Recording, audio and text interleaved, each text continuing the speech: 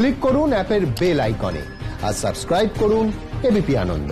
সব সময় থাকুন খবরে। প্রাক্তন রাষ্ট্রপতি প্রণব মুখোপাধ্যায়ের আরোগ্য কামনা করেছেন তৃণমূলের বীরভূম জেলার সভাপতি অনুব্রত মণ্ডল। প্রণববাবু আমার জেলার মানুষ। আমার জেলার মানুষ আমার নানুর ব্লক বাড়ি। ওনারও ব্লক হচ্ছে তোমার লাভপুর। উনি তাড়াতাড়ি সুস্থ হন আমার বীরভূমের মানুষ। এবং ছোটো থেকেই আমরা দেখে আসছি প্রণববাবুকে এবং প্রণববাবু, আমি আশা করি বহুদিন থেকে রাজনীতির সঙ্গে জড়িত। সবারই সঙ্গে একটা ভালো সম্পর্ক ছিল।